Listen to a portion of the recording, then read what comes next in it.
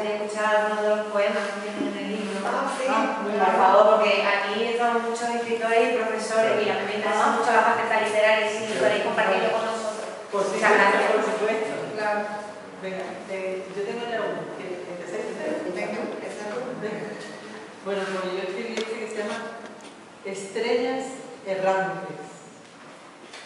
Montañas de vida me hablan en la lejanía de valles de niebla que las ocultaban. Almas cinceladas en fraguas de bronce, en yunques de lágrimas. Palmeras que brotan dentro de los pueblos a pesar de ser olvidadas. Cangilones hondo de noria empujada por sangre artesana. Libros vivos del tiempo, carne iluminada. Os siento maestras, os veo como hermanas. Estrellas errantes, dioses que anunciáis naciente alborada.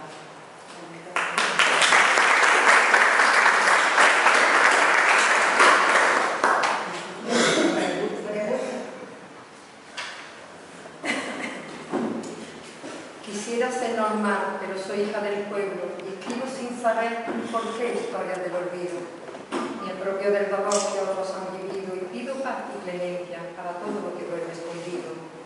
Hoy igual que ayer nos dicen que el pasado nunca vuelve, la historia se olvida si entre sábanas se vuelve. Quisiera ser normal, pero siempre vuelvo al camino y aquellos que en silencio gritan, amigos, contad conmigo. Y me hacen mil preguntas sin hallan respuesta. Pregúntales, pregúntales por qué me quieren. Solo fue un paseo tonto, fue de ellos, no mío. Viejo amigo, cortaron las flores del jardín de esta tierra que estaba muriendo, que quería respirar aire limpio del momento. Yo no dejé semilla en un huerto, ni risa y alboroto de niños corriendo. Solo dejé a mi paso un sortido de ríos que siguen fluyendo. Tú, amiga mía, hija del pueblo, pregúntale, ¿por qué lo hicieron? Solo fue un paseo tonto y no era el compromiso. Éramos tan jóvenes todos los que cayeron, que España sigue llorando vestida de luto por tanta juventud perdida, tanto de dolor. Quisiera ser como todos los que olvidan el sufrimiento ajeno, pero soy hija del pueblo y mi corazón triste se halla por nuestra historia, que no se escribió al completo. El pasado nunca vuelve, me andan diciendo. La historia se repite si se deja durmiendo. Mi España perezosa que olvida corriendo.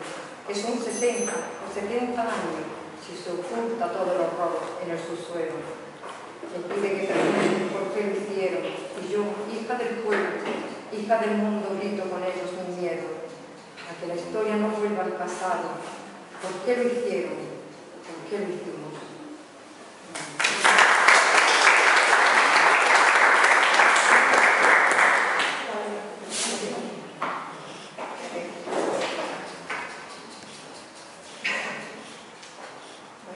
Un poema a mi padre, a Carlos Pérez, mi padre.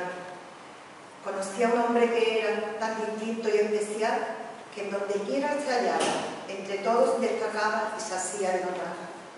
Siempre fiel a sus principios, nunca negó lo que era, ni tuvo miedo de hablar, cuando hablar no se podía, nadie le pudo callar.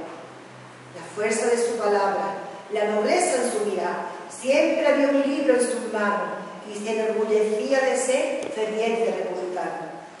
Cuando silbaba cantaba tenía tanta melodía, poseía tan buena voz que parecía un tenor. De memoria prodigiosa, de cualquier tema sabía, de historia, de geografía le podías preguntar y te decía fecha y día, en qué sitio o lugar. Por, tu libertad, por la libertad luchaste y defendiendo tu honor, a la horda te enfrentaste con valentía y decisión. Salvaste a un sacerdote de la garra del horror. Después ese sacerdote también te salvó. La cárcel que tú sufriste en el alma te marcó. Una madre que lloraba y que perdió la razón porque un verdugo mandaba a sus hijos a prisión. De ti todo lo aprendí. Me hablaba de libertad cuando libertad había. Y en aquella represión, con tu ejemplo y con tu amor, siempre libre me sentía. Tú me hablabas de poetas, de músicos y escritores, de pintores y escultores, de países muy lejanos. Siempre tenías ilusiones. Yo siempre quería saber que a tu lado me sentaba, mientras que tú trabajabas, no paraba de aprender. Por ti soy fuerte y valiente, por ti amo a los demás, por ti si tengo alegría, y si alguna vez caí y siempre me levanté, también te lo digo a ti. Cuando llegó ese día del, del cambio que tú esperabas, qué feliz te veía. Ya se podía votar, por fin ya se terminaron los años de oscuridad. 40 años contados hasta que a España llegaron los aires de libertad. Lo admiré y le quise tanto, era un sabio para mí, me dio muy buenos consejos y cuando se hizo viejo se fue, pero sigue aquí.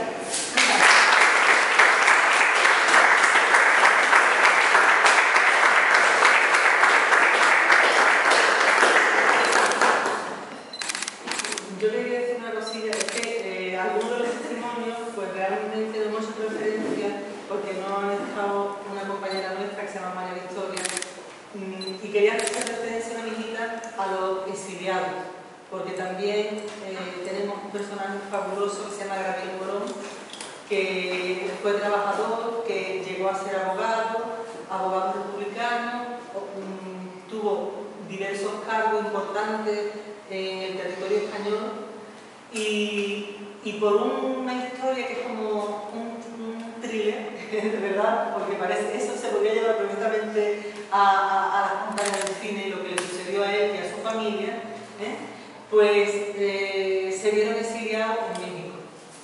Y por otra parte, eh, mi pariente, Juan Ramos y Ramos, él terminó sus días exiliado en Norteamérica. Él mm, acabó enseñándole español a las tropas norteamericanas, fijaros y después mm, volvió a Europa para morir en un hospital de Berlín. En el hospital de Berlín, desde donde él veía eh, la universidad donde había estudiado, porque él estudió más Derecho en Berlín. Su padre, eh, que era un campesino de Algarrobo, un jornalero, que no tenía nada, lo único que tenía una inteligencia extraordinaria, porque todo el pueblo, todo pueblo sabía que ese hombre llegaría a Dios, efectivamente su inteligencia lo llevó a hacerse de sus tierras y poco después se hizo eh, cargo de la Diputación de Málaga durante la época de la monarquía. Y el dinero que ganó fue para darle estudio a sus hijos. Y a uno de los hijos que mandó fuera fue Enrique a estudiar Alemania. Y cuando vino, vino con cuatro idiomas y estableció su despacho de abogado en Madrid. Y entonces, en la historia de Aledí, que es muy interesante porque él era amigo de María Zambrano, él conocía a Antonio Machado, que también era republicano, mm, a Azaña, por supuesto, porque estuvo en el gobierno de Azaña como ministro de Hacienda, y ocupó también otros ministerios y otros cargos muy importantes durante la República. Y es su visión de los hechos, porque él siempre quiso ser intermediario, quiso ser mediador y verlo para que sepáis también esas personas que quisieron ser eh, unificadoras, unificadoras para que se mantuviera la república, aun a pesar de ceder, por ejemplo, a la iglesia sus propiedades para que el monstruo no se levantara. Lo que sucedió fue que en el Parlamento, por Fernando de los Ríos, se aprobó que se le quitara las propiedades a la iglesia y ya que el dragón se despertó. El dragón ya ahí, con esa, no, no pudo ya el, el estamento político que era tan débil. Bueno, que lo.